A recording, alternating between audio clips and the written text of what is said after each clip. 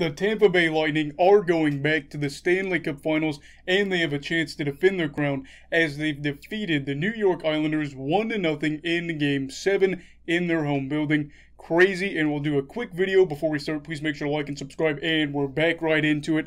And for the Islanders, it's tough because they're going home again, and they're not going back to the Stanley Cup Finals as they're sent packing by the same team twice in two years. So, what went wrong for the Islanders? Well, for starters, and this is not everything, but partially things, uh, Brayden Point was something that I talked about, saying that they were going to have to contain him. Didn't work. He scored in six out of the seven games in the series. There were so many Lightning players that played a factor, but he was a big point for them. Six goals in seven games, six in the first six games, that is. And, you know, in general, that's just not going to work. Another thing that was so brutal was the power play for the Islanders. Talked about this in my preview. I said they were not going to be able to repeat what they did the year before, where they went 2 for 19 on the power play against a good team like the Tampa Bay Lightning. They were going to have to do better. They unfortunately did not. I believe in the series they went 1 for 17 terrible. They actually scored as many goals on the power play as Tampa Bay did on the PK, unfortunately, with this game, which is ironic because of how it went. The power play was the downfall, I think, a big part of this of this series. And of course, they gave up their goal off the power play. And that really hurts for them. Finally, while it doesn't sum up everything, you know they just got Vasilevskiy. I am going to coin that phrase. I'm going to say that phrase. They got Vasilevskiy. That's the fact of the matter. Andrei Vasilevskiy one of the best goalies in the league.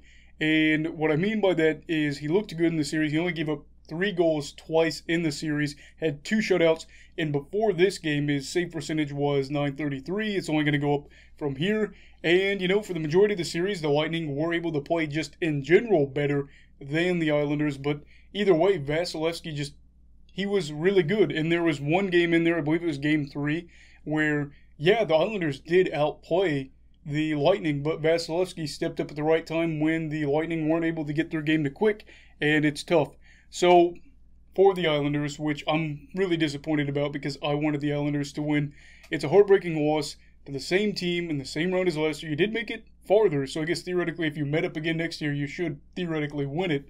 Um, but on both occasions, they were denied a Stanley Cup Finals appearance, and the Stanley Cup Finals appearance drought is extended another year.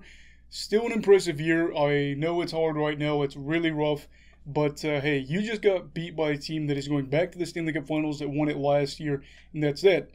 And for the Lightning, they push this narrative that they're able to, you know, defend their throne and be a defending champion that goes into this series, and they make their third Stanley Cup Finals appearance in seven years. Really tough, really heartbreaking for the Islanders. Feel you Islanders fans, Lightning fans, congratulations on another chance to win another championship. What do you think this series and what do you think of this series? And also, who do you think will win next series and in how many games? The Montreal Canadiens or the Tampa Bay Lightning? Let me down know down in the comments down below. Also, please make sure to like and subscribe. Everybody stay safe, have a great night, and stay away from COVID. Also, if you're in Tampa Bay, please be safe. Goodbye, Brigadiers and Brigadettes. This is your captain signing off. Have a great night.